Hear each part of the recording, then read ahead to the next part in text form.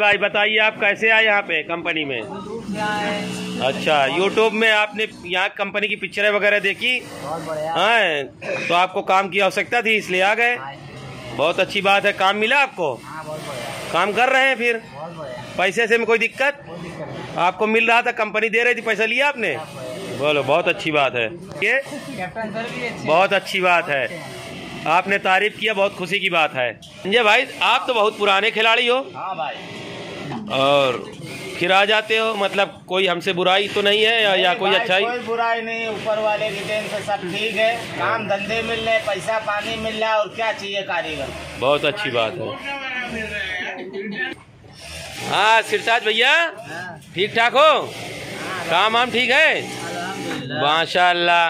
Company ठीक है? बहुत अच्छी बात है।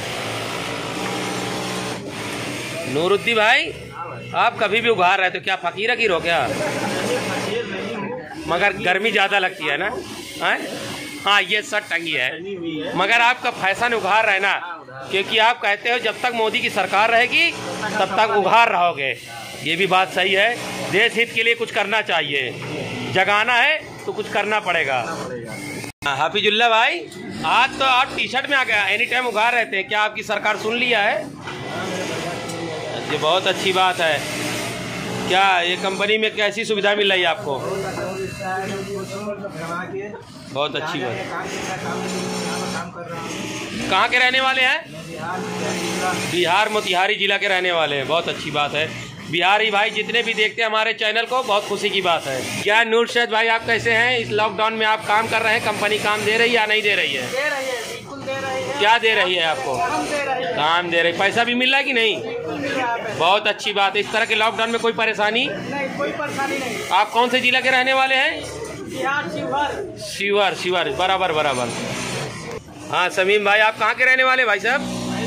जिला बहरेज के रहने वाले। जिला बहराइच है लेकिन एरिया कौन सा है? मतलब बिहार है यूपी है क्या है? बहुत बढ़िया। इसके पहले कहाँ काम करते थे? इसके पहले जयपुर में काम करते तो अभी यहाँ कैसे आना हुआ? बस काम अच्छा लगा यहाँ पे और आगे कोई गाँव घर के बताया या यूट्यूब से देख के आए? ना कोई गाँव घर का बताया ना यूट्यूब ऐसे ही हम आए। अच्छा, अच्छा। हमको यहाँ का अच्छा लगा इसलिए हम यहाँ काम करने लगे। बहुत अच्छी बात है। पहली मरतबा जब आए थे तो कोई दिक्कत हुई थी? नहीं कोई दिक्कत नहीं हुई थी मगर हम चले गए थे। हाँ। दोबारा हम फिर आए। अच्छी बात है। ठीक क्या आप मुंडा मार रहे हैं? अच्छी बात है। कंपनी ठीक ठाक है? बहुत अच्छी बात है। अरे ये क्या है? ये जबान दिखाना ये कौन सी आदत हो गई? गुड गुड ये भी मुंडा का कारीगर है। ये हमारे बिलाल भाई है। ये भी बहुत बढ़िया कारीगर हैं। अच्छे हैं। अरे शत्रुघ्न राय इनकी तो तारीफ़ जितना करो कम है। बहुत पुराने कारीगर हैं और ऐसा कोई बंदा नहीं जो इन, इनसे कोई मज़ाक ना करे और ये उनसे ना करें। ये बहुत जल्दी घुल मिल जाते हैं। सलीम भाई हैं। ये हमारे कारीगर भाई साहब बम्बई के रहने वाले हैं। वैसे यूपी से इनका ताल्लुकात है, लेकिन ज़्यादातर मुंबई में रहते हैं। इनकी उम्र सेवेंटी सिक्स साल की है। आज भी ये तरोताज़ा हैं और हमें बहुत खुशी होती है, सेवेंटी सिक्स साल की उम्र में भी ये आठ से दस हज़ार रुपया महीना कमाते हैं। हमारे गाँव खेड़े में या शहरों में भी देखा गया है, पचास साल की उम्र होती है तो क्या कहते हैं, अब आराम करने के दिन आ गए, ऐसा कुछ नहीं है।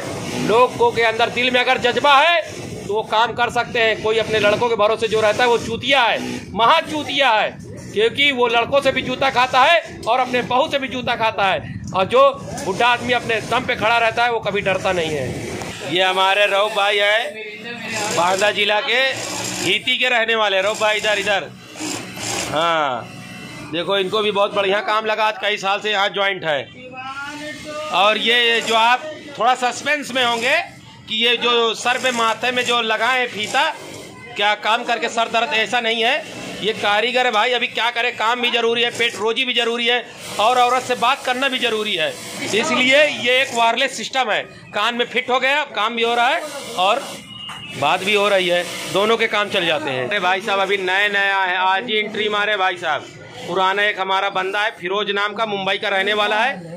वो इनको लेके आया बोले, चलो, हमारी कंपनी बहुत बेहतर कंपनी है और अच्छी कंपनी आप करेंगे काम तो जम जाएगा। भाई साहब, कैसा लग रहा है? आप चेहरा तो दिखाइए। क्या चोर रहा है क्या? कहीं किडनैपिंग किया है आपने? लग रहा है डर रहे जरा ऊपर सर करिए जरा से।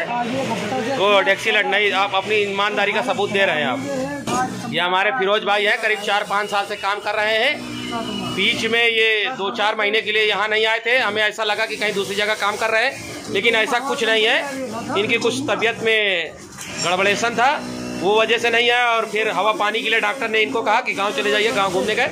रिटर्न आए और हमको ऐसा लगा, हमने इनसे पूछा तो बोले, नहीं, हम यहीं काम करेंगे, हमें यहाँ बहुत अच्छी सुविधा मिली है और आप ऐसा मत सोचिए, ये फिर भी काम कर रहे हैं।